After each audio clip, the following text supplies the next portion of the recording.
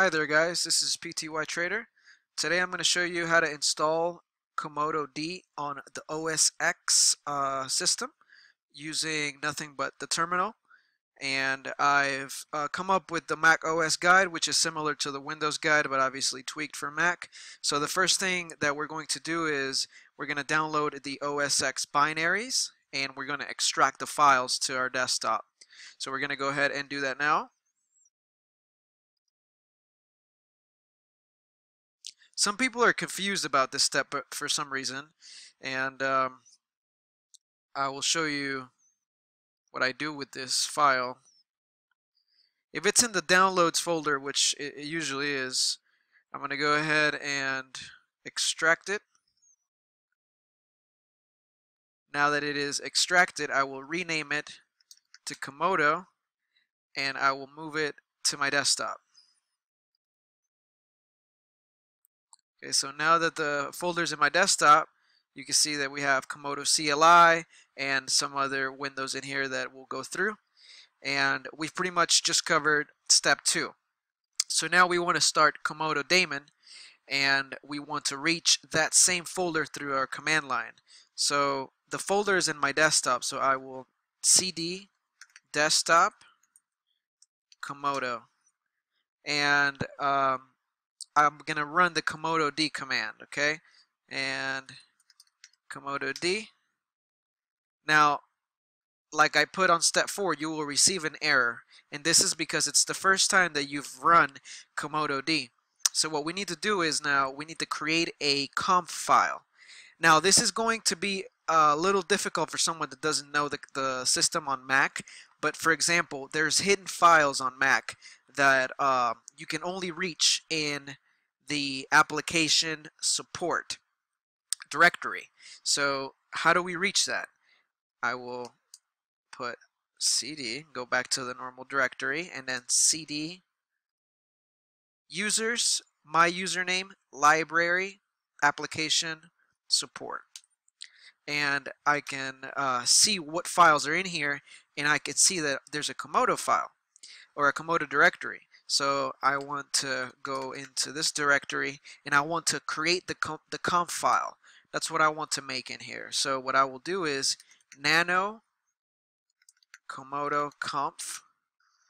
Now once you have the conf window open, you can copy paste the information on the guide and we're going to modify it because this is supposed to be your RPC user. So we can PTYX, we can make a very secure user and the same for the password.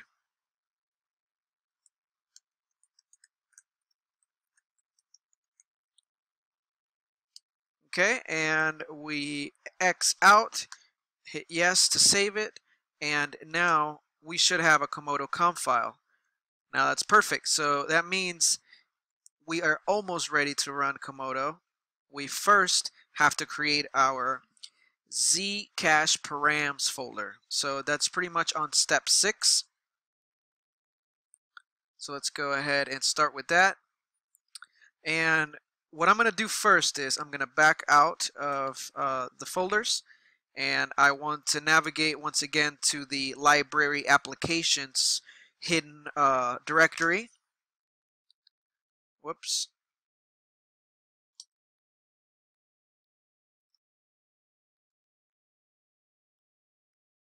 Okay, give me one moment.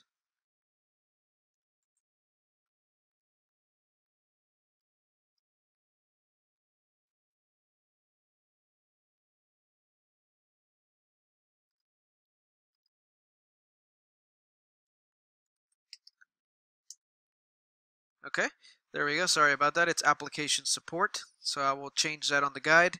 And I want to look in here. Okay, and I can create now the Zcash params directory. So he, here's where we want to create it. And you can um, copy paste mkdir, mkdir, Zcash params.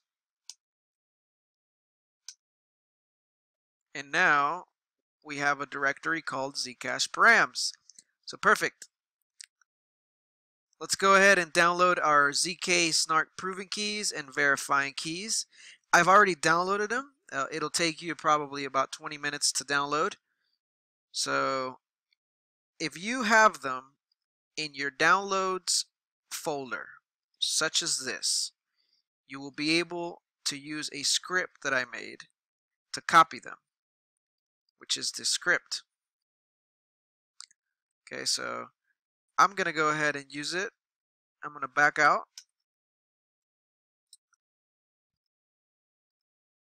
And what it is doing is, it is, I use Ditto to copy the verifying keys and paste them to the Zcash params. That's what's happening.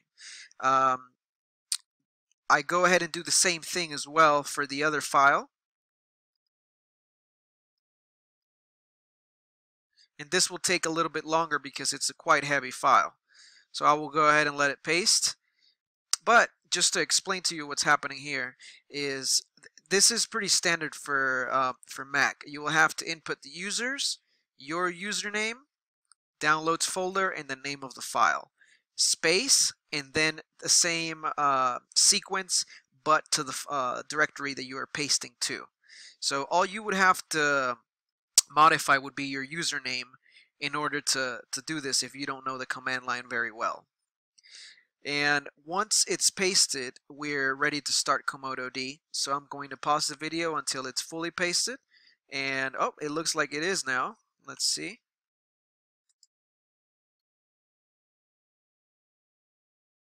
Okay.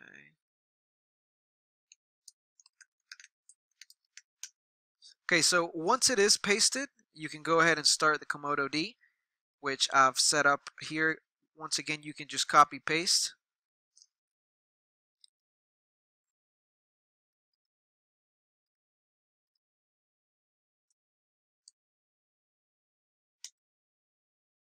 Okay, so Komodo has started and it's starting to sync currently.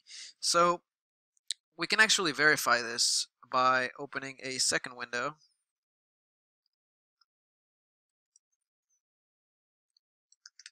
Navigating to the Komodo folder on your desktop. Komodo CLI get info. We can see that there's zero blocks, so it's probably, uh, oh, it's got one connect connection, so it's probably going to start syncing and we can check it again.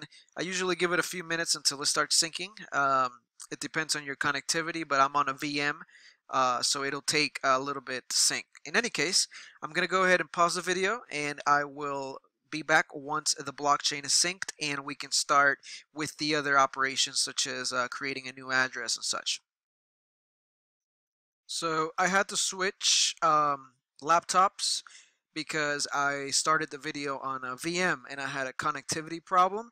So I went ahead and installed it on a regular machine and I'm syncing the blockchain now. And what I just wanted to, to go through, because once you get to this point, all you have to do is wait for the syncing to happen. However, um, I've gone ahead and in the guide I've set some of the uh, the main commands and I want to show you how to generate a new address. So for example, if you're syncing uh, the blockchain at this time, uh, you can check how far along you are by doing Komodo CLI get info and it'll show you that you're on block 553 um, and previously we were on block 295 so we know we're syncing now and what we want to do is we want to create a new address since um, most of us are going to be doing this as a first time thing. So we can go ahead and copy paste this. And we have a new address now. So I go ahead and take the address down and the next thing that I do is I want the private key. So you can dump the private key by um, by doing Komodo CLI dump priv key. You paste the address you hit enter and it gives you the private key. So now we have a syncing wallet, we have a public key to receive funds and a private key in order to claim them. So this is very important. Uh, now you have your full wallet basically. So you can actually uh, keep this in a text file or I encrypt it myself when I keep them in the text file because I like to keep the private key separate even if I have to wallet that. So uh, yeah, so what you would do from this point is you would deposit funds into the address and you would wait for this to uh, sync. The longest chain is 478,336 blocks. So as you see, you have quite a ways to go. This would probably take around 24 hours to sync. Um, so that's it guys. I, I I'm gonna be making another video a separate video to show you how to operate it once it's installed with more commands. Uh, but for now that's how you install it and how you create a new address and uh, this is how you can start using it with the non-GUI on Mac. I hope you enjoyed it. Uh, sorry I had to switch computers but uh, we made it through the video and uh, thank you guys. Go ahead and visit uh, slack if you have any questions or supernet.org um, also visit barterdex.com if you're a community leader and want to contact us want to contact us about barterdex and thank you guys. Have a great day